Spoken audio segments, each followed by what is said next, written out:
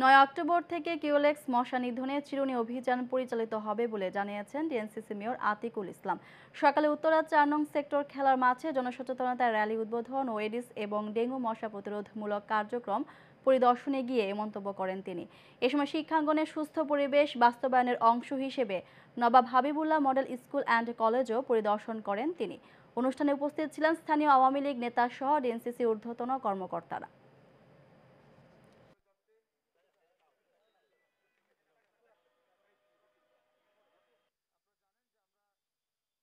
স্বাস্থ্য দপ্তর যেটা বলছেন ওয়েদারের সাথে আলাপ করে দুই সপ্তাহের মধ্যে এটি গ্রাফটা এখন কমে যাওয়া শুরু করবে এবং ডিক্লাইন করবে এবং সেভাবে কিন্তু আমরা দেখছি যে ডিক্লাইনের দিকে কিন্তু এটা আছে।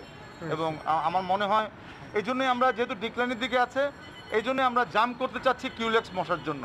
অর্থাৎ এডিস মশার থেকে আমাদেরকে অভিযানের পাশাপাশি আমরা এখন কিউলেক্স মশার অভিযানে সামনের শনিবার থেকে আমাদের চিরুনি অভিযান শুরু হবে কিউলেক্স মশার জন্য।